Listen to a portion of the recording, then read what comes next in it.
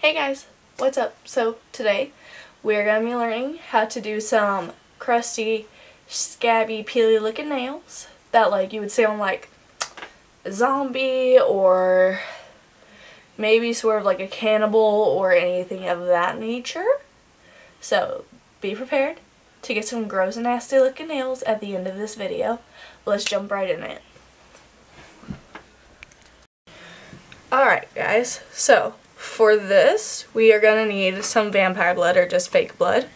Um, we're going to need some brace wax, which you can buy at Walmart for like three bucks. Pretty nice, and it also comes with this handy dandy little tool, which we will also be using. Um, I will also be using a palette knife, some scab blood. So yeah, let's get into this. So first, let me move all this stuff out of the way. So first we're going to open this up. Um, pretty simple, as I say, struggling with the packaging. So pretty simple and basic. So you're just going to take a little strip of this and then you're actually going to break it and you're just going to squish it, roll it around in your hands so it becomes nice and moldable. Um, and the reason why I like to use brace wax for this is because it already looks like your nail. And so, like, I don't know if y'all have ever had a broken nail. I'm sure you have. But your bro like broken nails turn white. And so, like, this is perfect for it. So, and then the next thing you're going to do is you're just going to mold it to your finger, whichever finger you're doing. I'm probably going to end up doing all 10 because this is supposed to be like a zombie or a scavenger kind of look. And then I'm going to take this little bad boy right here and so, zombies don't really have perfect nails, much to everyone's dismay. Um, you can make this as gory as possible. That's also another great thing to do. Um, I'm just kind of chipping away and making sure some of these edges are nice and sharp.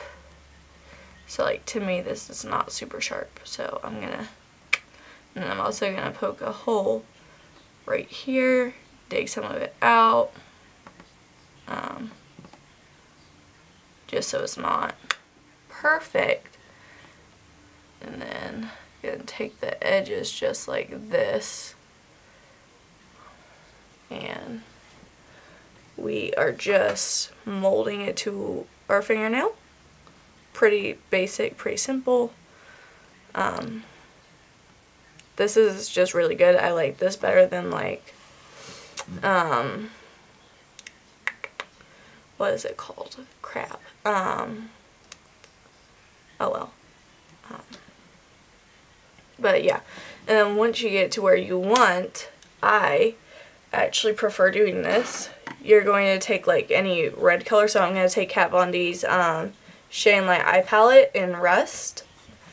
And I am just going to open this and I'm going to take like a small little detailed brush, kind of like this one, and I'm just going to go into that orange shade and I'm going to put it everywhere that the wax is not, creating like this rotted, fleshy grossness. Um, another thing that works like really, really well is red lipstick. This is just an Ulta Lip Matte um, cream.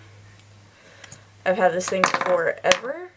Um, and then you can also fill in the cracks with that, making it nice and bloody. You can make this as bloody as you want or not. Really up to your preference. Me being who I am, and y'all will learn this sooner or later, I like a lot of blood. Um, so yeah. And then you just got the little bit of basics. I'm going to put this back in here. So then you have this. Doesn't look like a lot, but I promise you it is. Um, I'm actually going to take a clean brush and I'm just going to swipe the lipstick all overward so it looks rather irritated and then cleaning up the edges just so it gets into the cracks a little bit more. And if I sound congested, guys, I'm so sorry. Um, I caught the crud. I don't actually know what I have. I'm pretty sure I'm not contagious. But, and then we are going to go into the NYX Ultimate palette and I'm going to take this red shade right here just on my finger like so. And I am going to dab that wherever I want as well. And then here comes the fun part. You're going to take your scab blood this lovely gelatin substance right here. It's great. Um, you're just going to take your little palette knife or whatever you want to call it. And you're just going to dab it where you want. Uh, so again, I like a lot of blood. We don't use a lot of blood. And then we are going to take vampire blood, vampire blood, whatever. Um, and then we're just to place this on the lid of itself and just kind of dab dab that everywhere. Just like so. And ta-da! There is your nails. So I'm gonna go ahead and do the rest of them so that way you guys can just watch and you can get the whole of the process I'm actually gonna dab that up a little bit so that way it's not super bleh looking. But yeah, that's the process. So.